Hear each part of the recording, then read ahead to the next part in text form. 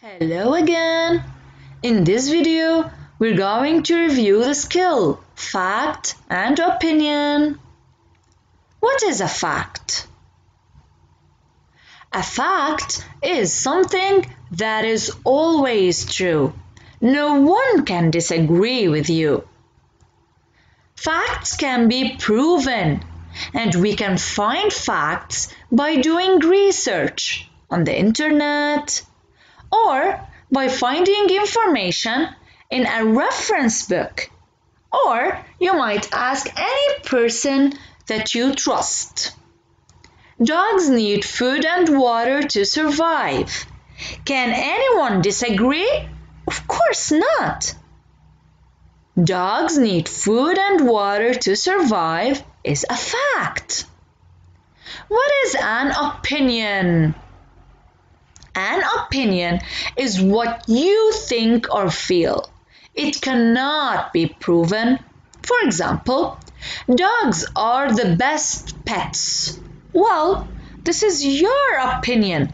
I might not have the same opinion. So this is not a fact. It's an opinion. Same as I love dogs. Not everyone loves dogs.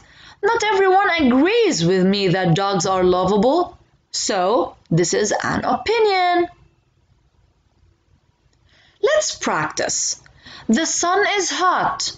Is it true?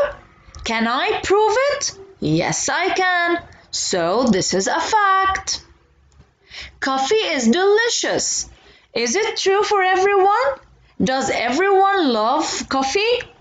Of course not. So this is an opinion.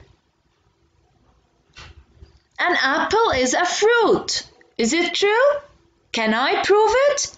Can anyone disagree with me or say, for example, that an apple is a vegetable or a human being? Of course not. So, an apple is a fruit is a fact. In order to know whether it's a fact or an opinion, we must always ask ourselves two questions. Is it always true? Can it be proven? If the answer is yes, then it's a fact.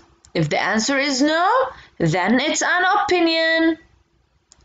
Now read The Screech Owl Who Liked Television, pages 282, 283, and 284 in the reading book. Then answer the questions on the attached sheet. These are the pages in your reading book and this is the sheet. In the last exercise, you will be ready to apply the skill that we learned in this video. Good luck!